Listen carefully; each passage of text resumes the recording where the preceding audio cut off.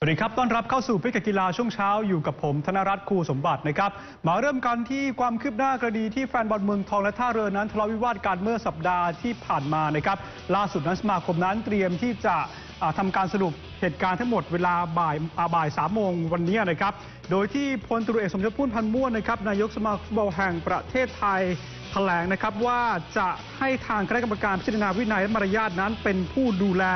สำหรับเหตุการณ์ในครั้งนี้นะครับ ซึ่งถ้าเกิดว่าบทสรุปมติออกมาแล้วทางทาทางเมืองทองและท่าเรือนั้นไม่เห็นด้วย ก็สามารถที่จะยื่นอุทธรณ์ได้นะครับ ซึ่งทางบิ๊กออสบอกนะครับว่าจะไม่สร้างกฎความกดดัน หรือว่าการชี้นำให้กับทางคณะกรรมการในการตัดสินใจนะครับวันนี้ติดตามกันช่วงบ่ายสามโมงตรงนะครับว่าผลการตัดสินนั้นจะออกมาเป็นอย่างไรนะครับ